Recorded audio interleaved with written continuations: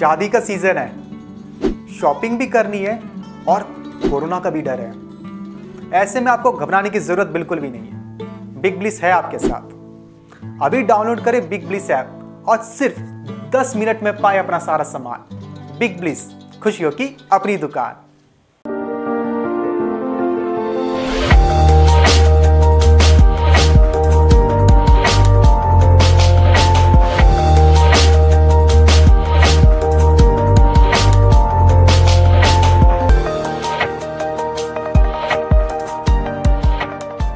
नज़र डालते हैं इंदौर मंडी पर, लहसुन का भाव कैसा रहा? तो इंदौर मंडी में आज लहसुन के भाव के बारे में जानते हैं।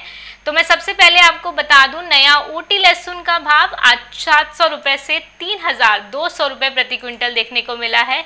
वहीं नया लहसुन का भाव आज पाँच सौ रुपये से चौबीस सौ रुपये प्रति क्विंटल रहा। देसी लहसुन बढ़िया फूल गोला का भाव आज अट्ठारह सौ रुपये से चौबीस सौ रुपये प्रति क्विंटल देखने को मिल रहा है।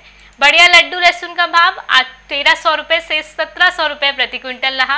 वहीं छोटा लड्डू लहसुन का भाव जो है वो हज़ार रुपये से चौदह सौ रुपये प्रति क्विंटल देखने को मिला है।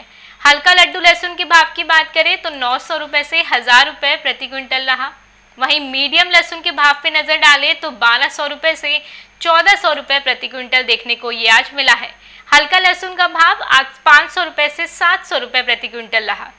तो अग, अगर बात करें बाज़ार की तो आज इंदौर मंडी में लहसुन के बाज़ार में मंदी देखने को मिल रही है।